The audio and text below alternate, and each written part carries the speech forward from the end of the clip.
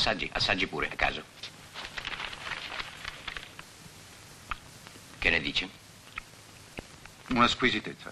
Come rappresentante della commissione controllo vitto, lei è soddisfatto? Totalmente. Io un po' meno, della rissa dell'altro giorno. Perché quelle canzoni a sfondo politico? Non ci badi. Siamo in estate, il caldo dà un po' la testa. Dovrei castigare forte. Sia generoso. La politica no, non la sopporto. Tutti la considerano un padre. Perdoni. Il perdono è una prova di autorità. Lei dice. Non sarà, signor Rosa, che lei ci tiene molto a dimostrare che quando lei intercede, io acconsento? Amici, amici, domani è festa nazionale. Qualcuno di voi, è vero, ultimamente non si è comportato molto bene, eh?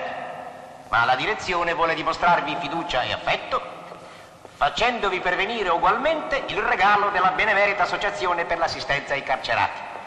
Dunque, buon appetito e buona festa a tutti voi e un ricordo alle vostre famiglie. Si procede alla distribuzione. E Sì, adesso signor. musica. Distribuzione. Accidenti, mi sono sporcato la cravatta. Rientri in cella lei. Andiamo. Ah sì, tranquillo, rientro, rientro. Soprattutto non alimenti in sé uno stato d'animo di ribellione contro la sorte.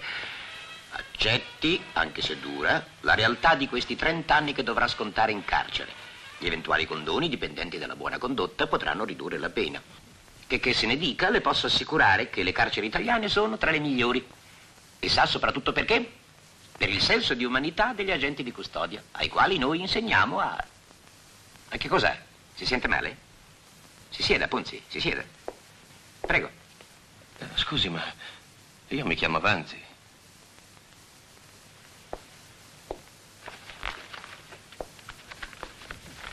Ah, sì, certo, Vanzi. Architetto. La gente santo cielo, impari a pronunciare i nomi. direttore. Io un po' di colpo d'occhio ce l'ho. E lei non mi pareva un sanguinario assassino. Scusi il qui pro quo. Dunque lei è in attesa di giudizio. Dovrà rimanere in isolamento fino al colloquio col magistrato. Gente lo scorti in cella e faccia entrare subito questo Ponzi. Ponzi, eh? Ponzi! Dai,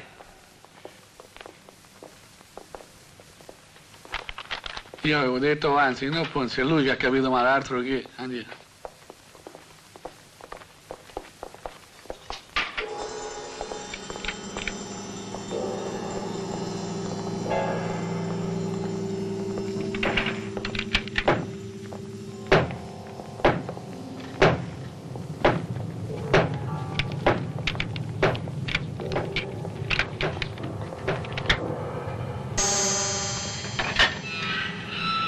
Dentro.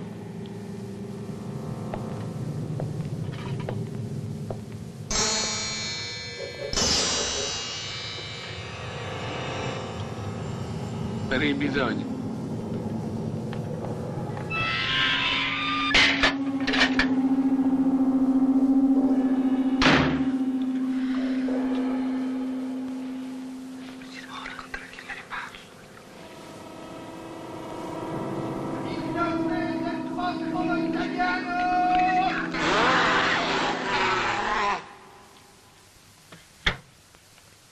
Che, non hai dormito? Eh, eh, e che vuoi fare? È come la prima notte di nozze. Vuoi fumare, architetto? grazie. Quando finisci l'isolamento, la spesa allo spaccio te la faccio io. Tu i soldi ce l'hai e coi soldi si fanno miracoli.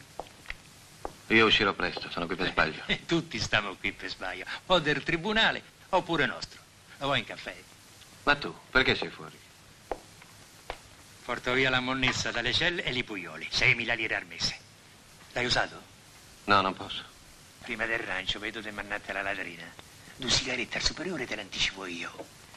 Per le cimici butta un po' d'acqua intorno ai piedi della branda. Buongiorno, programma nazionale. Oggi sabato 5 giugno, San Bonifacio Vescovo. A tutti Bonifacio, tanti auguri.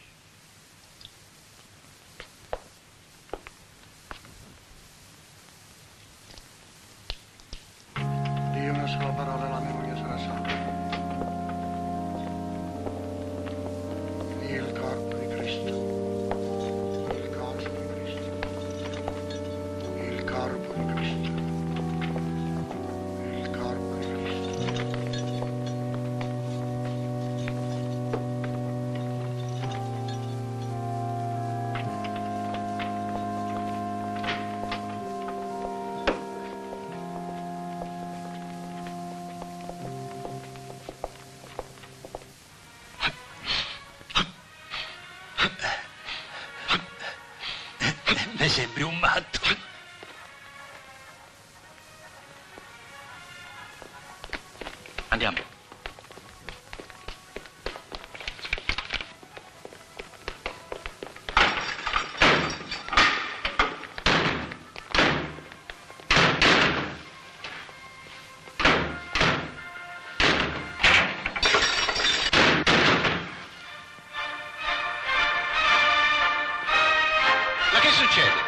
Stanno a dare una lisciata a qualcheduno e allora per non sentire i strilli...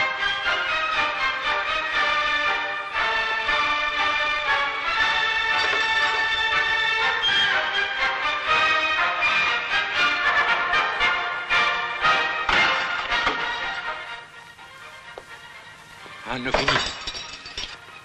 Che ci fa insieme a uno in isolamento? Eh, mi ci avete chiuso dentro voi? Esci.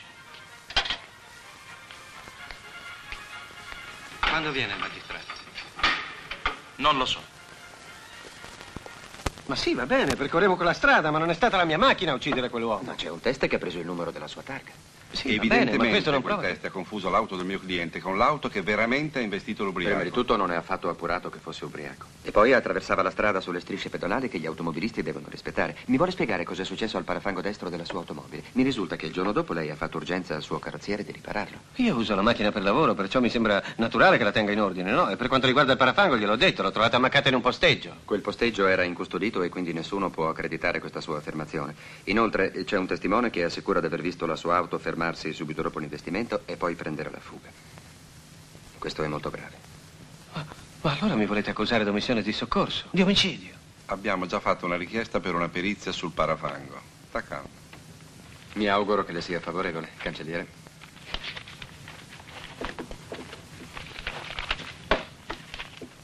Guarda i casi della vita. Il signor giudice ha una villa a soli 200 metri dalla tua. Vicino al Belvedere. No, dalla parte di Torre San Carlo, proprio a picco sul mare. A due Ah, passi. beh, è una zona splendida, lì il terreno vale moltissimo. Sì, è stata un'occasione, l'abbiamo preso circa dieci anni Noi tre anni fa, quando già costava un occhio. Ma adesso dobbiamo metterci tutti insieme per impedire che taglino gli alberi con questo assurdo piano regolatore. Veramente io penso che il piano regolatore sia stato fatto tenendo conto del paesaggio. Lo so perché l'ha fatto mio cognato. Beh, se si tratta di un piano organico. È stato approvato dal consorzio dei proprietari. Lei non ne fa parte? No, ma farò domanda. Ah, bene, adesso devo proprio andare. Speriamo bene. Avvocato? Ho segui